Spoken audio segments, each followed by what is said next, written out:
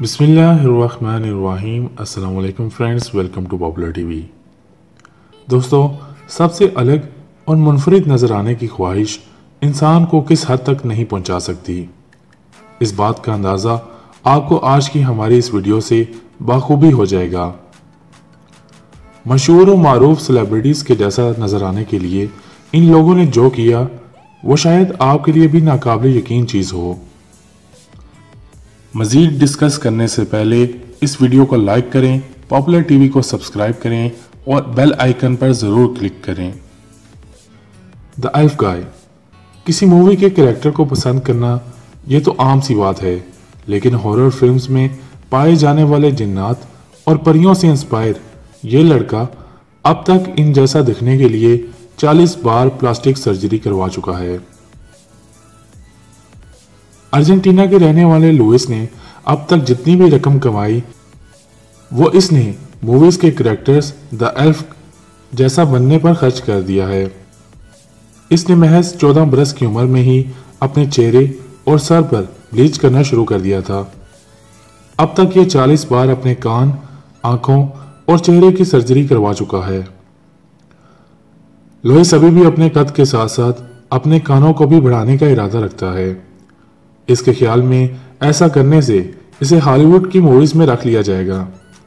یہ اب تک پینتیس ہزار ڈالر اپنی سرجری پر خرچ کر چکا ہے۔ اس کے علاوہ ہر مہینے اپنی جلد کو ایسا ہی رکھنے کے لیے پانچ ہزار ڈالر کے لگ بھگ انجیکشن اور میڈیسنز استعمال کرتا ہے۔ ایران میں موجود ایک بائیس سالہ لڑکی سہر تامہ اپنی الگ اور انوکھی ظاہری لوکس کی وجہ سے انٹرنیٹ پر کافی وائرل ہو چکی ہے۔ اس کی ایسے لوکس دیکھنے والی کافی حیران ہو جاتے ہیں۔ سہر دراصل انجلینا جولی کی بہت بڑی فین ہے۔ اس کی ایک بیان کے مطابق، اس نے انجلینا جولی جیسا دکھنے کے لیے پچاس بار سرجری کروا لی ہے۔ اس کے علاوہ، اپنا وزن بھی چالیس کلو تک کم کیا ہے۔ ایک انٹرویو میں اس نے اس راز سے بھی پردہ اٹھایا کہ اس نے یہ تمام کام انٹرنیٹ پر مشہور ہونے کے لیے کیے ہیں۔ فرینڈز، اب بات کرتے ہیں فلپینز کے ایک سینتیس سالہ شخص چیوز البرٹ کی۔ چیوز البرٹ کئی سالوں سے سپر مین جیسا بننے کے لیے کئی بار پلاسٹک سرجری کروا چکا ہے۔ یہ سپر مین جیسا دکھنے کے لیے خاص بلو کلر کے لینس بھی لگاتا ہے۔ سولہ سال کی عمر میں بچے تعلیم اور کھیل کود میں مصروف ہوتے ہیں۔ یہ اس وقت سے اب تک چہرے اور ناک کی تیئیس بار سرجریاں کروا چکا ہے، جس پر تقریباً پچپن سو پاؤنڈ لگا چکا ہے۔ اب اس کی لکس میں سپر مین جیسی لک بھی آنے لگ گئی ہے۔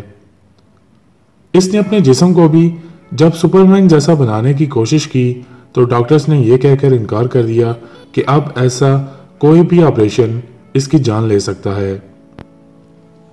اس کے پاگل پن اور کریزی فین ہونے کی وجہ سے اس کا نام Guinness book of world record میں بھی درج ہے۔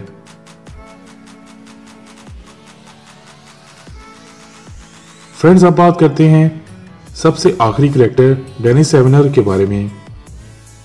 ڈینی سیونر نامی پچپن سالہ یہ شخص نہایت خوفناک دکھنے والا شخص ہے۔ کافی لمبے عرصے تک یہ میڈیا کی زینت بھی بنا رہا۔ ڈینس نے خود کو ایک ٹائگر کی لکس دینے کے لیے چودہ بار پلاسٹک سرجری کروائی۔ اس کے علاوہ اس نے اپنے چہرے اور جسم پر ٹیٹوس بھی بنوائے اس شخص نے اپنے چہرے، ناک اور سر کی ساخت کو بھی کافی حد تک چینج کروا لیا ہے۔ اس نے ٹائگر جیسا دکھنے کے لیے دو لاکھ ڈالرز خرچ کر ڈالے ہیں۔ اس کے ایک انٹرویو میں اس نے بتایا کہ ایسا دکھنے کا مشورہ اس کے قبیلے کے ایک سردار نے دیا تھا۔ تاکہ وہ مشہور ہو جائے۔ حیرت کی بات تو یہ ہے کہ ڈینس ایک پڑھا لکھا شخص تھا۔ وہ نیوی میں ایک ٹیکنیشین اور کمپیوٹر پروگرامر بھی رہ چکا تھا۔ فرینڈز، آپ کو کون سا کریکٹر زیادہ پسند آیا؟ اپنی رائے کا اظہار کمنٹ باکس میں کیجیے گا۔ ویڈیو کو پسند آنے کی صورت میں اس ویڈیو کو لائک کریں، شیئر کریں اور ہمارے چینل پاپولر ٹی وی کو سبسکرائب کریں۔ آپ سے ملاقات ہوگی میری اگلی ویڈیو میں۔ تب تک اپنا اور اپنی فیملی کا بہت خیال رکھیے گا۔ فی مان اللہ۔ اللہ حافظ۔